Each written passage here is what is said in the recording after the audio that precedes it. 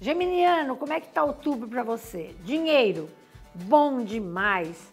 Projetos serão re realizados. Sorte com compra e venda de imóveis. Bárbaro no teu trabalho para ter dinheiro, aumento salarial e etc. Eu quero te dizer que é o melhor mês do ano para você. Amor, a partir do dia 15, mil estará bárbaro, expansão na vida amorosa, chances de mil, mil e uma relações novas na tua vida. Legal, hein? Saúde em alta, porém mantenha calma. Poderá rolar algum estrezinho aí com amizades no metade do mês.